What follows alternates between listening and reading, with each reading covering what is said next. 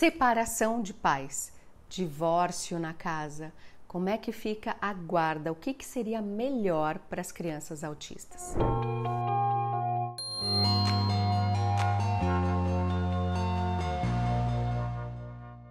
Infelizmente, a quantidade de condições desfavoráveis para famílias de crianças que estão no espectro autista são muito maiores do que para famílias de crianças sem autismo ou com outros transtornos ou até com síndromes.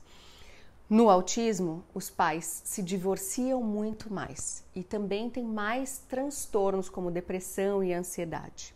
Então a gente precisa cuidar desses pais, a gente sempre fala isso aqui.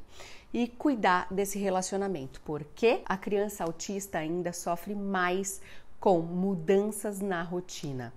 E divórcio e separação envolve casas diferentes, relacionamentos diferentes desses pais e envolvem muita desorganização e angústia para o pequeno. Então, nós temos que falar sobre isso. Como minimizar os danos de uma separação para uma criança autista? Nós sabemos que a rotina e a previsibilidade são muito importantes para crianças que estão no espectro. Sair do script mental delas, muitas vezes até uh, caminhos, elas reclamam de mudança de caminhos, elas ficam perturbadas quando as coisas mudam de lugar dentro de casa, quando os armários estão abertos, quando a gente combina de ir num lugar, mas daí tem que mudar a, a história e ir para outro lugar, quando eles têm uma ideia e acreditam que vão ser de determinada maneira e aí vem alguma coisa do ambiente, muda essa ideia, chega uma pessoa inesperada em casa, qualquer coisa que mude a orientação desse script mental, isso pode perturbar e desorganizar demais uma criança autista, demais. E todas as condições envolvendo separação são assim.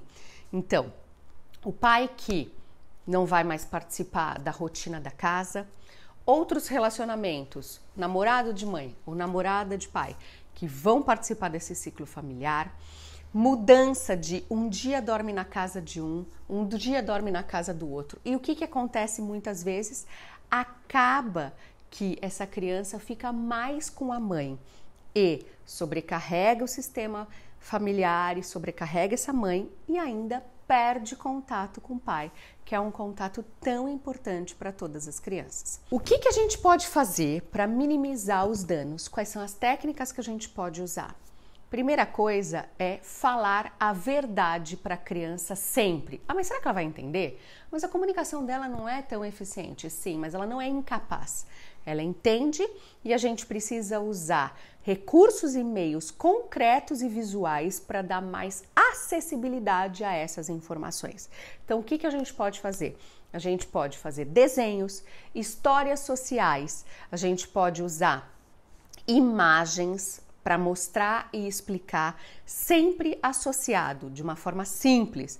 Então, se hoje nós vamos dizer que o papai não vai dormir em casa, então mostra a imagem do papai, mostra a cama do papai sem o papai. Papai não vai dormir aqui, só a mamãe. Uma imagem de uma mulher deitada na cama sozinha, por exemplo. Se o papai quer apresentar a nova casa para a criança, então trazer foto, trazer imagens, preparar essa criança antes, sempre uma coisa de cada vez, sempre mostrando uma das etapas de cada vez, mostrando de forma visual e associando com o comportamento. Mostra o visual e associa com o que tá, vai acontecer, com o que está na mudança da rotina.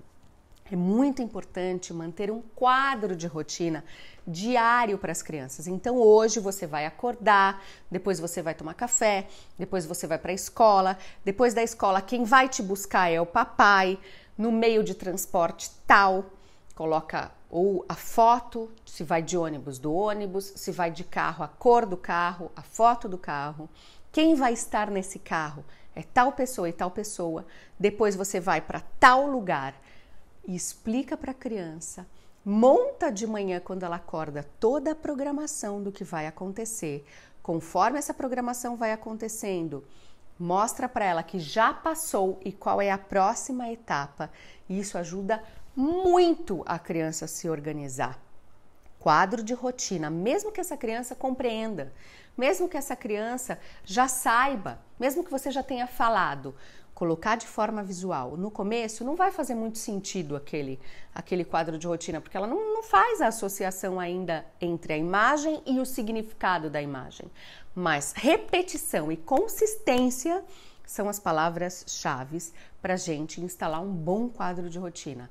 E isso pode ajudar muito nessa mudança, nessa situação toda e vai favorecer uma organização mental melhor dessa criança. Então, o tipo de guarda é o melhor para a família.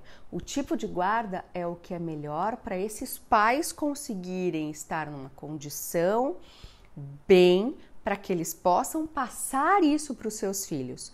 Não tem um tipo de guarda melhor ou pior, depende de cada situação, de cada ambiente familiar, de cada um dos conjuntos ali familiares.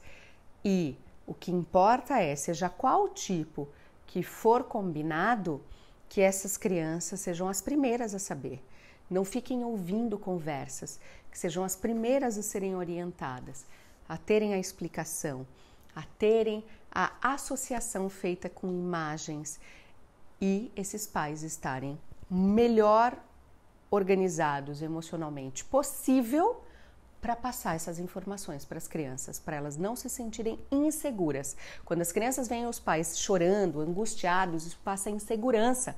Eles olham e falam: Meu Deus, isso vai ser muito terrível para gente. Ferrou, nossa vida acabou, né? Não sei o que, que vem, mas eu sei que vai ser muito ruim. Então, os pais primeiro cuidarem de si e se organizarem antes de tomar qualquer providência mais drástica, antes de tomar qualquer providência concreta. Se organizarem e estarem bem consigo mesmos para que a gente consiga envolver a criança nessa dinâmica de um jeito já organizado e seguro para elas. Se você precisa de mais ajudas com essa situação, coloca aqui embaixo para eu responder as dúvidas de vocês e dá um joinha para que esse vídeo alcance o maior número de pessoas possível. Um beijo grande e até. Tchau, tchau.